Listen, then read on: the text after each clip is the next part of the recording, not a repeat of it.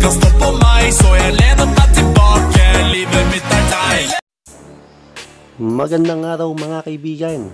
Katatapos ka lang po ng laban ni Romero Rutles Duno. Laban po kay Juan Antonio Mozo Rodriguez ng Puebla, Mexico. Ito po ay para sa NABO Lightweight Championship.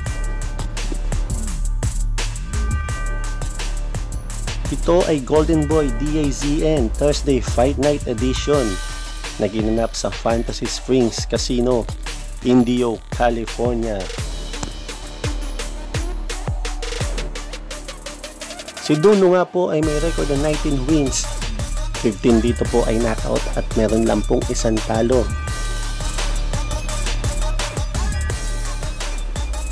Habang si Rodriguez naman ay may record na 30 wins, 7 losses at 26 knockout. Sa umpisa pa nga lang po ng laban ay bakbakan agad ang dalawang boksingero. Nagpalitan nga po ito ng mga malalakas na suntok. Ngunit nakakalamang nga po dito ang ating pambato na si Duno. Mula round 3 hanggang round 6 ay naging madikit ang laban. At dahil veterano, mukhang nakalamang ng konti dito ang Meksikano.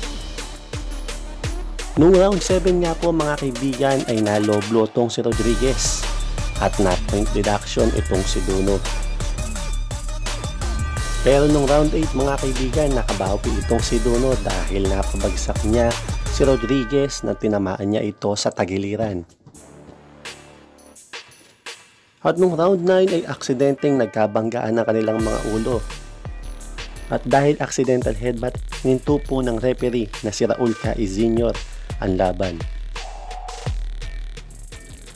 At nung binasa po ang scorecard, 85-84 kay Rodriguez, 85-84 kay Duno, 86-83 kay Duno. Kaya nanalo po si Romero Duno via split decision para makuha ang NABO title.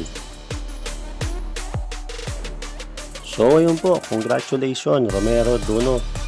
Sana sa susunod mas pagbutihan mo pa. Maraming salamat and God bless you all.